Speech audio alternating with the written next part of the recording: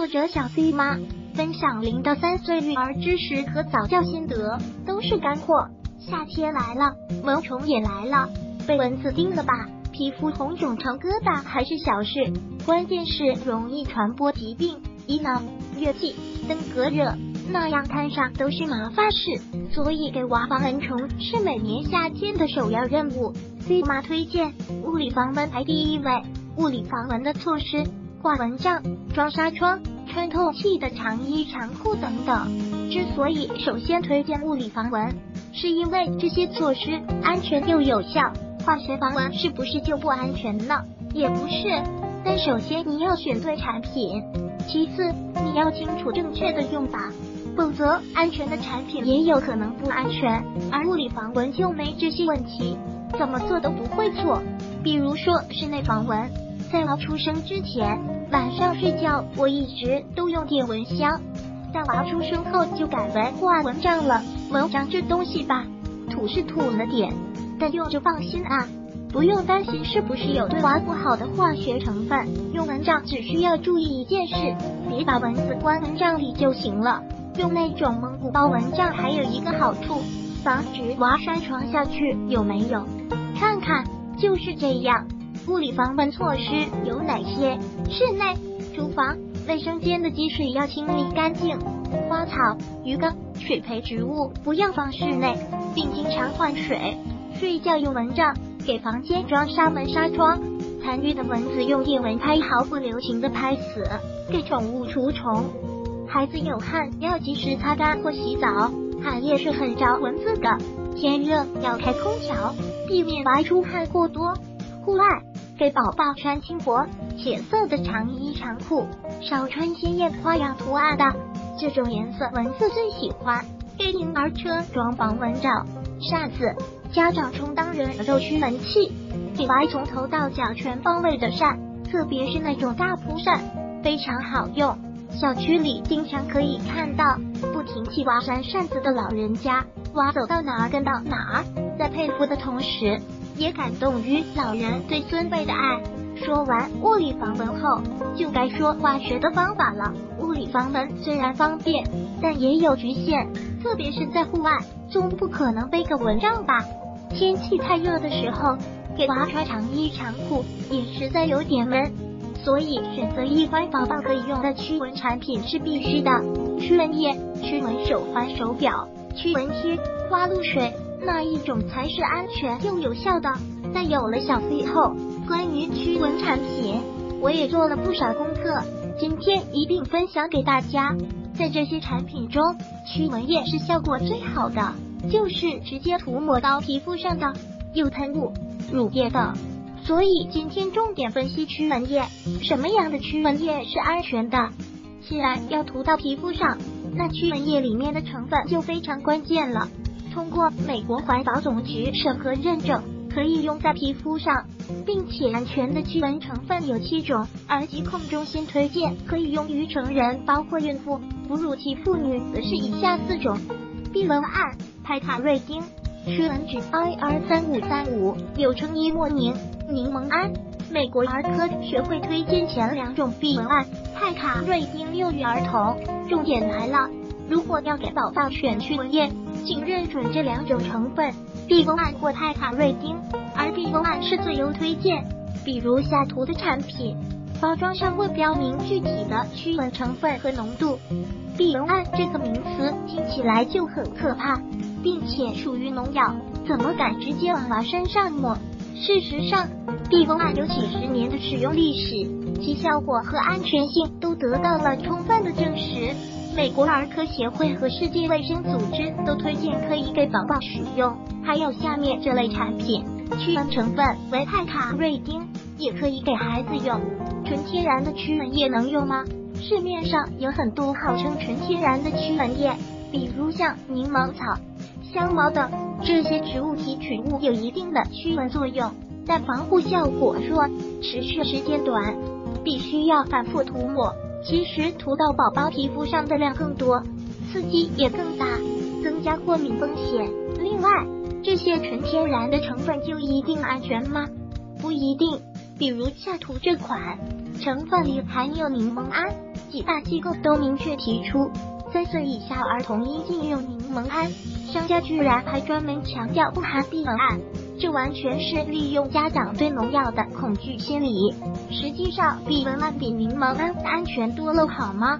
至于其他的一些植物驱蚊剂，加拿大政府有比较详细的建议，含有香茅油的产品不应用于婴幼儿，柠檬油、桉叶油、松针油、天竺葵油和樟脑油的混合物不能用于两岁以下儿童。可以看到，其实很多植物驱蚊剂并不适合给较小的宝宝用，只是家长不知道而已。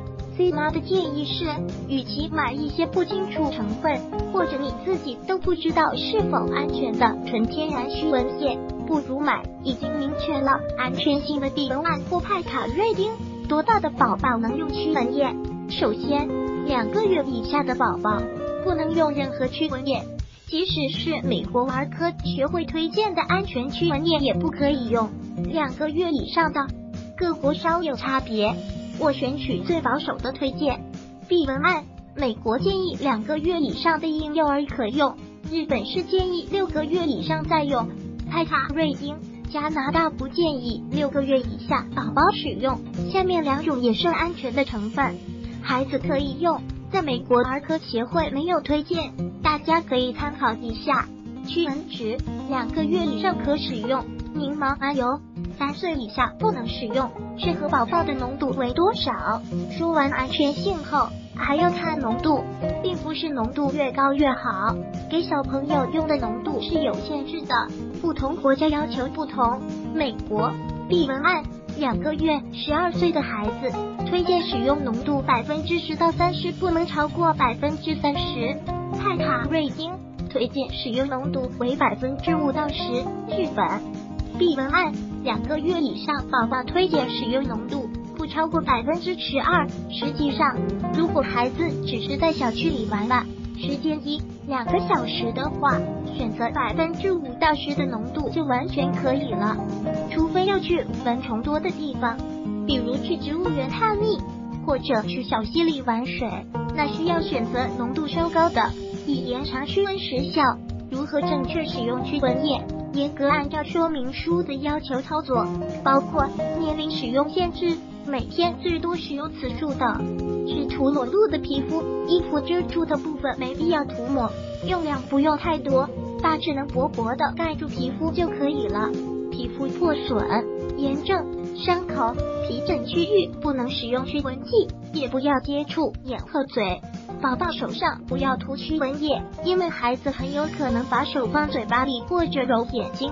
不要让孩子自己涂抹，如果是喷雾的，不能直接喷宝宝皮肤上，而应该先喷大人手上，再抹宝宝身上。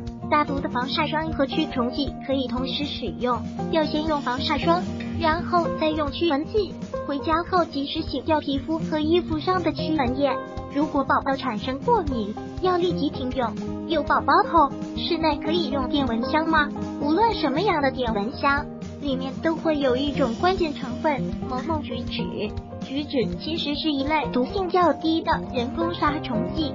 美国国家环境保护局对拟除虫菊酯做过非常严格的评估，结果认为没有证据表明其会对成人或儿童远期健康造成不良影响。因此，只要是正规厂家的电热蚊香，都是比较安全的。但不要买盘式蚊香，有烟雾，大人吸入了都不舒服，何况孩子。另外，要明火也非常不安全。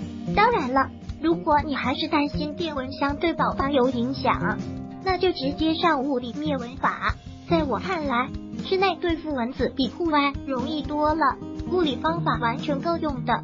各种偏方和其他产品管用吗？洋葱水、大蒜水、灭蚊植物、维生素 B 等各种偏方有用吗？C 妈也不知道，你觉得有用可以试试。各种驱蚊手环、驱蚊贴，驱蚊后有用吗？可能有了一点用吧，到底有多少用？没有权威机构做过评说。各种产品里的成分也不同，效果全靠商家一张嘴，所以 C 妈仍然是不知道。说实话，我也给娃买过防蚊贴、防蚊扣什么的。包括海淘很热的 VAP 未来防蚊手表，该咬还是咬？心理上觉得可能少养了几个宝宝，但真心说不清楚。另外，VAP 未来防蚊手表其实就是个移动的电蚊香，小 C 脚上戴的那个，并且也不是什么纯天然，里面也含有菊酯类杀虫剂，根本就没有纯天然的电蚊香。一开始我不知道，知道后就不给娃用了。关键是没啥明显的效果，其实还是驱蚊液安全又有效。宝宝被蚊子咬了怎么处理？被蚊虫咬了，先用肥皂水碱性皂液清洗，避免起包。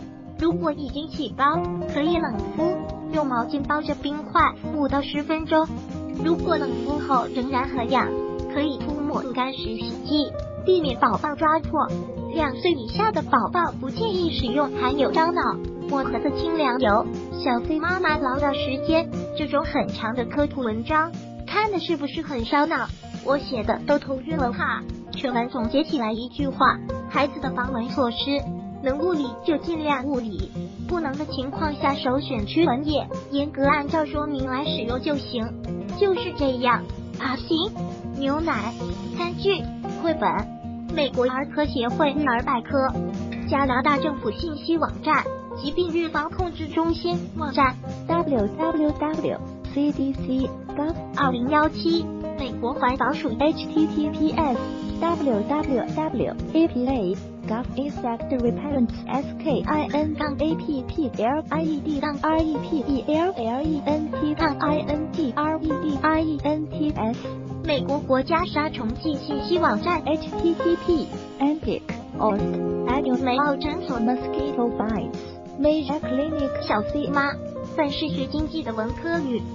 却在当妈后热爱上了与育儿相关的一切，从此找到了人生的正确方向，一边全职带娃，一边钻研各类育儿知识，现儿童发展与教育心理学研究生在读，力争在育儿的路上边走边学。